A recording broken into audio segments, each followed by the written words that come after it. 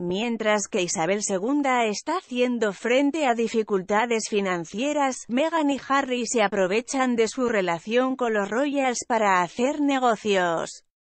Meghan Markle y el príncipe Harry han visto cómo sus bolsillos se han beneficiado de su salida de la Casa Real Británica.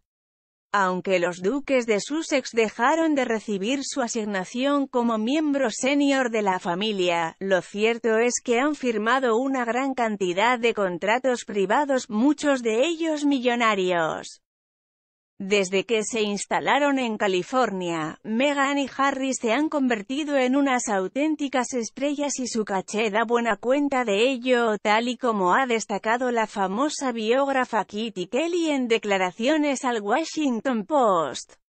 A Meghan y Harry se les va a buscar socialmente en Estados Unidos y se les pagará generosamente, algunos podrían decir desorbitadamente, por su valor como celebrities, ha afirmado.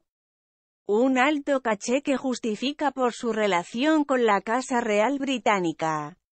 Ni siquiera una estrella de cine o el deportista de mayor éxito de Estados Unidos puede reivindicar el vínculo de Meghan y Harry con la monarquía británica, ha continuado.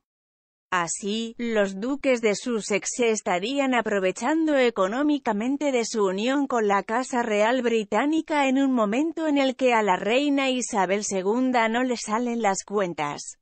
Según ha publicado el diario Mirror, The Royal Collection Trust, RCT, la fundación que gestiona las obras de arte reales, las joyas y los palacios de la reina Isabel II, sumaría unas pérdidas de más de 30 millones de libras, alrededor de 35 millones de euros, debido a que, durante la pandemia, los castillos han permanecido cerrados al público, lo que ha afectado gravemente a los ingresos de la compañía sin ánimo de lucro, de Royal Collection Trust, RCT ya confirmó el pasado verano que había tenido que pedir un préstamo de 22 millones de libras, 25 millones de euros, y pidió a sus empleados que considerara el despido voluntario.